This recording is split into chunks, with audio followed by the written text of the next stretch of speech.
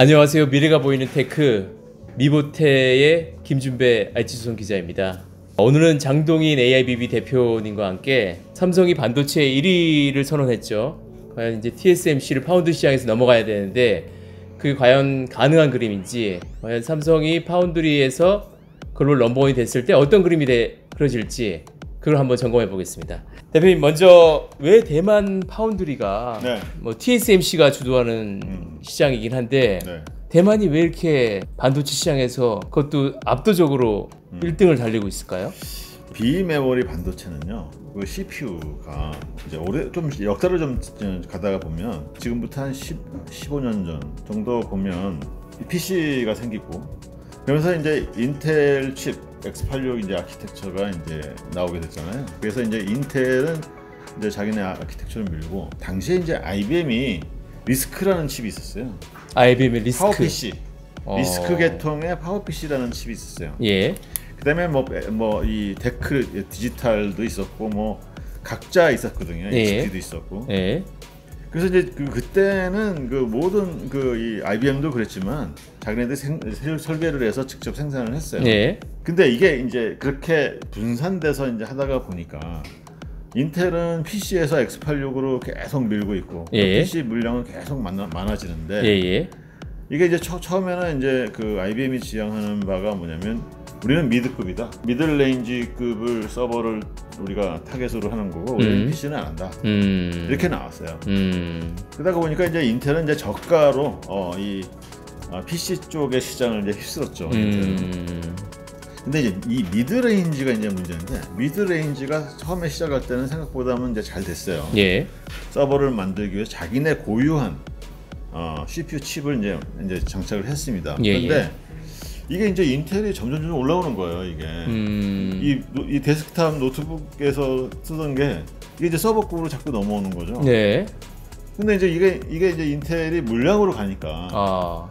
이제 싸지면서 지- 기존에 있었던 그이 미니 컴퓨터, 중형 컴퓨터 시장을 넘보는 시작하는 거죠. 음. 근데 이제 이 중형 컴퓨터는 이제 물량이 많지 않아서 예. 계속해서 개발을 하고 이 파운드리에서 이 칩을 만들 수 있는 예. 그런 물량이 안 됐던 거죠. 말하자면 음. 가격을 못 맞추는 거예요. 가격을 못 맞췄구나. 예. 그래서 어 이제 그 IBM을 제외하고는 그 mid-range급이 다 없어지는 겁니다. 음. HP랑 다 합병하고 그래서 없어지고 IBM 자신도 RISC 칩 만드는 걸 포기를 해요. 아. 네. 왜냐하면 이제 인텔이 다 잡, 잡혀가지고. 예. 인텔이 이제 서버급까지 이제 치고 아, 올라오고 밑에서 올라간 거네. 예. 그때 이제 어떤 변화가 일어나냐면 칩을 설계하는 부분하고 음. 파운드리에서 만드는 부분하고 생산하고. 이제 빼버리자 이게 가르자 분리하자. 분리하자가 이제 1900년 초기부터 아. 1990년대부터 시작이 돼요. 예, 예. 그때 이제 대만 업체들이 음. 치고 나온 거고 음. TSMC가 이제 넘버 원이고요. 예. 그다음에 이제 그 대만에는 UMC라고 있고요. 음. 파워칩도 있고 뱅가드라고 하는 음. 이 세계 10위 그, 어, 파운드리 시장에 4 개를 가지고 있어요. 예. 그 당시에 이제 대만에서는 IBM PC compatible이라는 거 기억나세요? IBM PC가 이제 메, 오리지널 PC잖아요. 이게 한 대 5천만 원씩 했어요. 음. 초기에는. 아.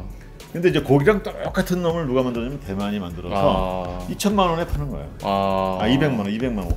생산 능력이 있는 건가요? 그러니까 이제 카피를 해서 카피해서. 그래서 예. 그때 대량으로 이제 밀었죠. 어. 그래서 그 IBM PC compatible 음. 해가지고 대만 업체가 PC를 엄청나게 많이 만들었어요. 음. 그 업체들 대- 영향으로 대만에서는 칩 생산이 음. 그때부터 많이 거예요. 아 그때부터 이제 그 칩 생산 능력을 이제 쌓아가면서 그렇죠. 이- 뭐 어떻게 보면 지금까지 계속 이어져 왔다고 볼수 그렇죠. 있을 것 같아요. 대만은 굉장히 오래됐어요. 이 파운드를 만든 예. 게 지금 이제 세계 시장을 잡고 있는 거죠. 음 그러면서도 사실 그 공정을 이제 높이면서 그렇죠. 대만 기업들이 이렇게 뭐 기술 장벽을 특허 통해서 네. 뭐 TSMC가 그게 특허가 또 엄청 많죠. 받고 있다고 하더라고요. 네. 그게 그게 어떻게 장벽을 쌓으면서 추격을 막았다고 봐야 되겠죠. 이게 이제 그이 결국에는 이제 반도체는 어, 치킨 게임입니다. 아, 서로 가격을 덤핑을 치고 그래가지고 자본 대 자본, 음. 실력 대 실력, 기술 음. 대 기술 이런 시장이 이제 이 파운드리 시장이잖아요. 그래서 이 빠른 시간 내에 빠른 거를 새로운 기술을 습득하고 그걸 갖다가 매시브하게 선- 생산 설비를 갖추는 거. 예. 예. 그러니까 이런 이런 어마어마한 투자와 어마어마한 기술력이 필요한 그런 부분들은 음, 아무나 못하는 거죠. 음, 삼성이 왜 추격을 한다 한다면서도 갭이 안 좁혀지는 거는 왜 그럴까요? 자본이 있고 기술도 이제 업력이 꽤 되니까 좁혀져야지 사실 삼성스러운 거잖아요. 너무 삼성의 파워를 이제 과시하면 이제 그런 생각이 드는데요. 메모리 반도체 시장과 네. 이런 비메모리 반도체 시장은 4배 차이입니다. 시장 규모 규모 자체가 어마어마한 시장이라는 거죠. 시장 규모 크다. 네. 크다. 예를 들면 이렇게 보죠. 삼성전자가 현재 지난주에 이제 그 시총이 307 빌리언 달러입니다. TSMC가 304 빌리언 달러예요. 거의 차이가 없어요. 갭이 없네. 때로는 뭐 여기 TSMC가 삼성 주가 총액을 어, 넘기도 해요. 예. 근데 삼성은 뭐 합니까? 삼성은 뭐 반도체, 메모리 반도체, 비메모리 반도체, 뭐 파운드, 파운드리 하고 별거 다 하잖아요. 모바일도 있고 모바일도 뭐 하고 뭐 디스플레이 네트워크 뭐, 하고 예, 별거 다 예. 하잖아요.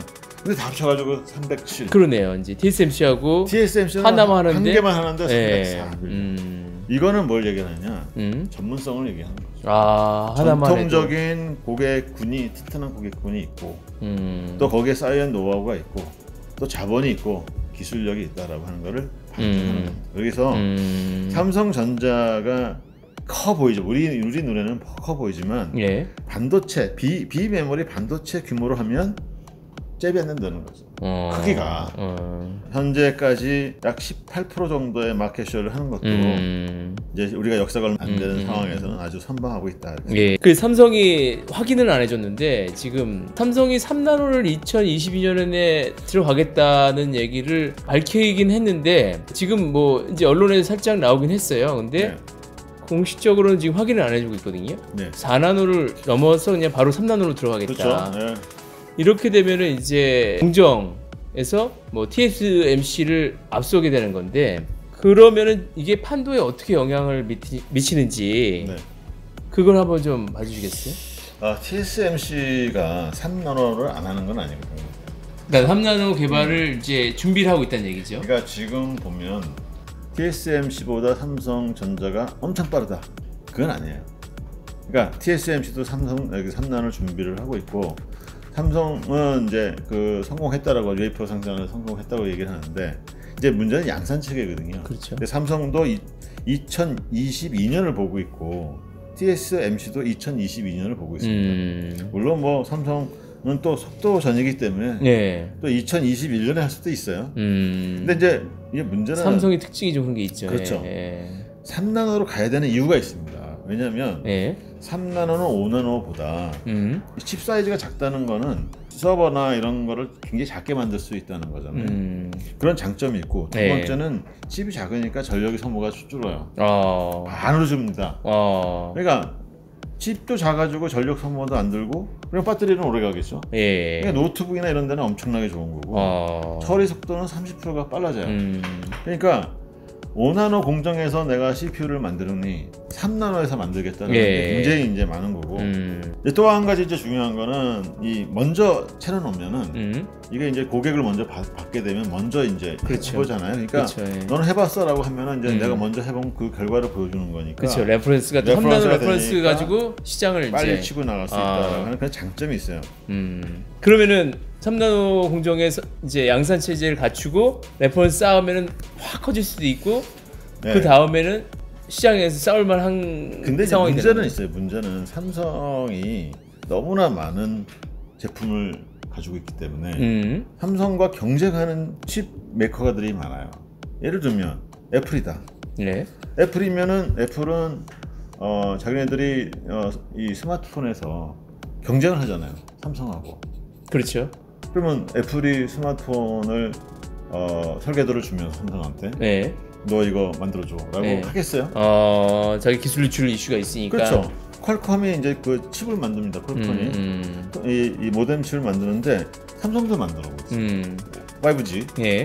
그럼 퀄컴이 자기네 설계도를 주면서 삼성한테 니네 만들어줘. 예. 라고 음. 하기에는 좀 그렇잖아요. 그렇죠. 그러니까 이 삼성 이게 참 대만 기업이라는 게 제조 완제품이 그러니까는 소비 제품이 없으니까 음. 그런 게 좀 프리한 네, 자유로운 면이 있네요. 그래서 이제 TSMC가 한 유명한 말이 있어요. 뭐라고? TSMC의 그 회사의 정책인데 예. 자기네는 고객과 경쟁하지 않는다.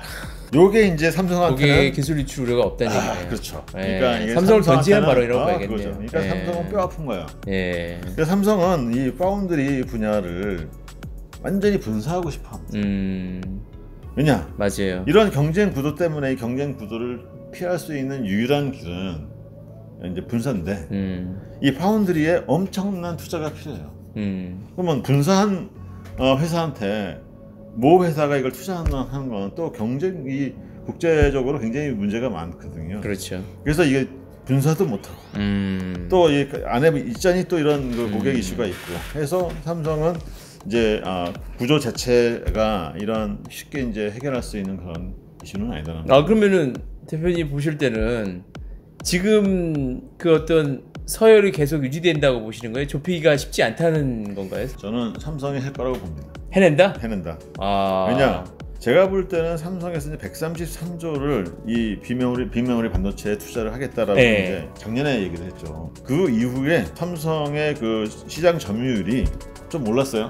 그러니까 한 16%에서 2.9% 정도 음. 해가지고 18.5%. 그 반면에 이제 이 TSMC는 어, 미중 간의 이제 무역 뭐 정치 뭐 이런 것 때문에 2.6%가 하락이 돼서 음. 51.5%. 음. 좀 약간 이제 지금 이제 막 따라하고 있는 것이 이제 눈에 보이는 아 이제 보이기 시작한다. 예, 상황인데 아. 결국 이제 승부처는 3나노에서 이제 결정이 나겠죠. 음. 1, 2년 후에. 음. 근데 그 상황에서 어떻게 하면은 새로운 기술을 개발을 해서 예. 3나노의 이후를 준비할 거냐 하는 거고. 음. 그다음에 삼성이 아, 현재 이 AI 시장이 가지고 있는 또 음. 자율주행 시장 자율주행 차가 가지고 있는 이 아. 반도체 시장을 어마어마하죠 이게. 그렇죠. 이걸 시장을 가져갈 거냐 하는 게 이제 너무나도 중요한. 결국은 자기가 갖고 있는 사업군하고의 시너지가 발생할 수 있으니까 네. 그쪽에서도 경쟁력이 나올 수 있는 부분이 있겠네요. 이제 시너지라기보다는 이게 칩 시장이니까 우리가 얘기하는 거. 네. 삼성의 자율주행 차를 만들겠다라고 하는 건 아니니까. 음. 자율주행 차에 들어가는 CPU를 내가 만들겠다 음. 또는 GPU를 만들겠다라고 하는 거거든요. 이제 삼성도 또 한 가지가 뭐냐면 삼성도 팹리스가 있어요. 삼성도 칩을 만들어요. 그렇죠.